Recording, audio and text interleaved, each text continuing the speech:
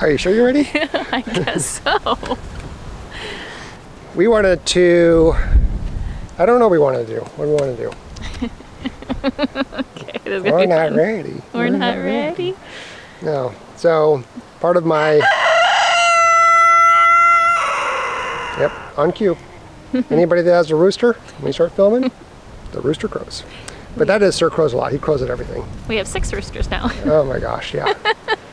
yeah, so part of my um, daily routine is collecting e-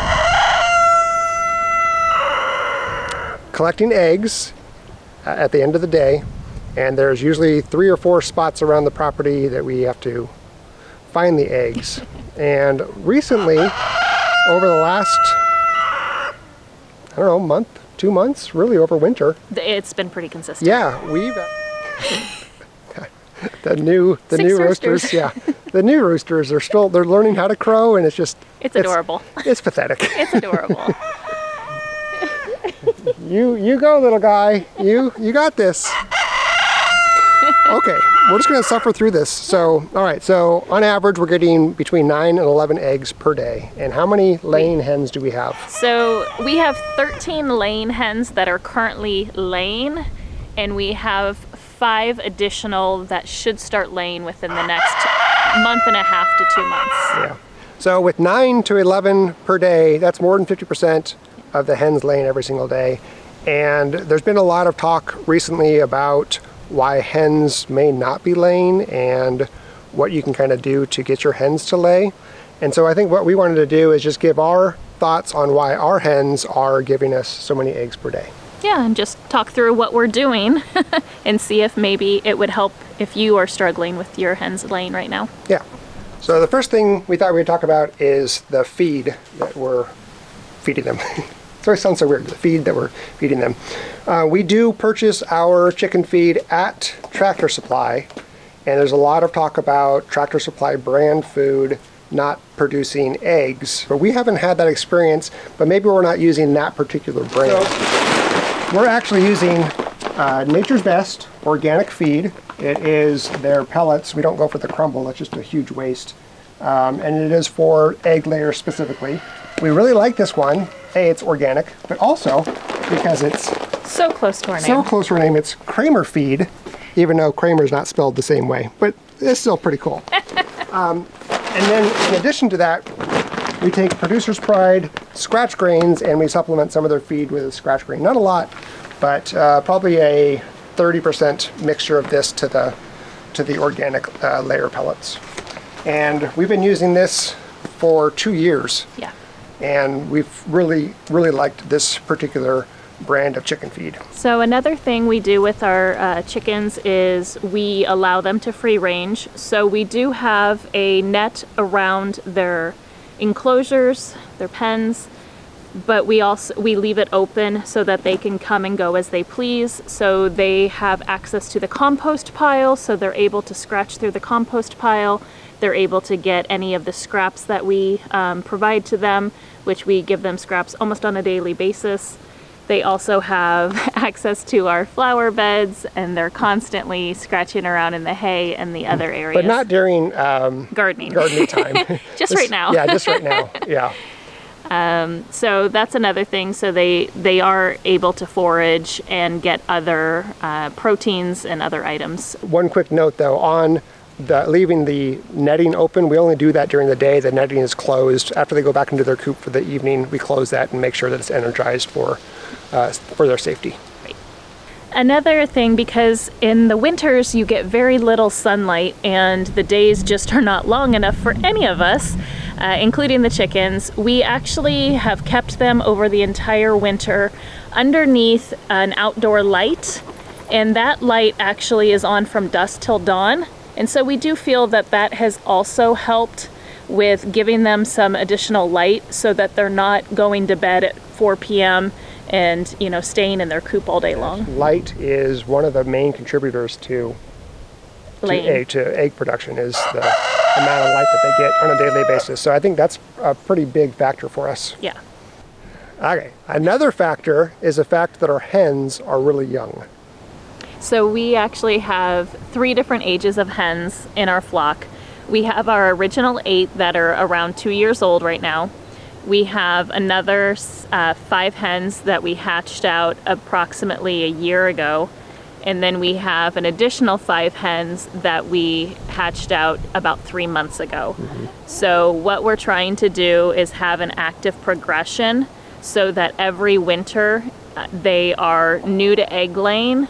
And so that will hopefully not have them go dormant during the winter time. So we're going to continue to do that as we build out our flock. Yeah.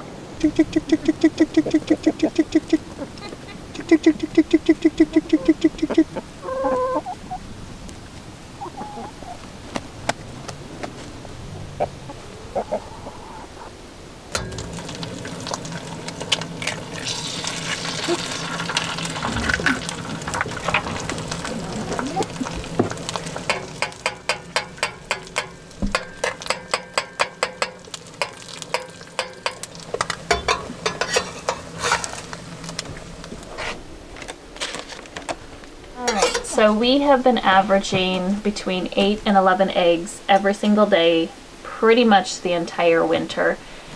With that, we had are getting a little creative with what we do with our eggs. So I went ahead and cooked up 18 eggs uh, and then some bacon, and I made some sausage patties. The sausage patties are actually made from the meat uh, from our pigs on the farm. It was just the ground pork, and then I added all the seasonings to make it a sausage. Went ahead and made some biscuits today as well, and then we have some cheese. So what I'm going to do is I'm going to make up some breakfast sandwiches, uh, 18 of them to be exact, and I'm going to do uh, nine sausage and nine bacon egg and cheese and get those prepped and ready for the freezer. It's a very hearty breakfast sandwich. That's my kind of breakfast sandwich. That's great. Very thick. oh, it's squishing my little sandwich. It's gonna bust my egg.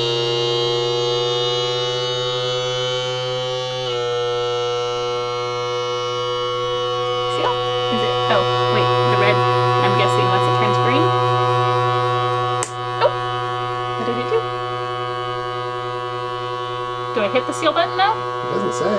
Does it? I don't know. Take out the bag after the key light stops flashing. Oh, oh. there we go. Oh, that's cool. that's cool. Is that the first time you've ever sealed food? That is the first time I've ever sealed food. That was fun. we might be in trouble. I might seal everything now. So you kind of wiggle it in, get it to about, and then whoa Whoa You just hold it.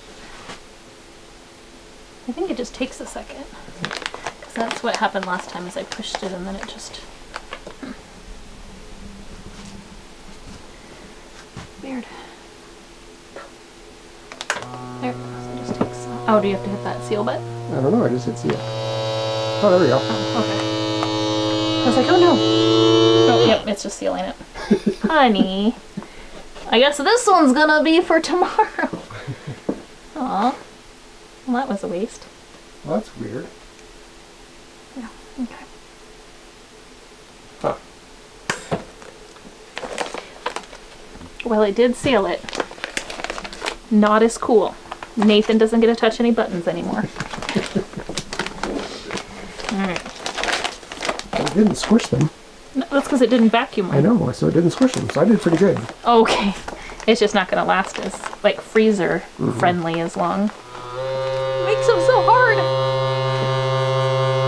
I need a pair of pants that do that.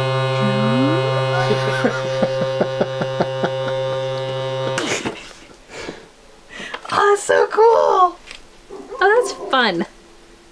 This is fun. I see why people like these. This one, fail. Yeah. These ones are good. All right. So you're gonna vacuum seal all of these, put these in the freezer. Yep. Okay.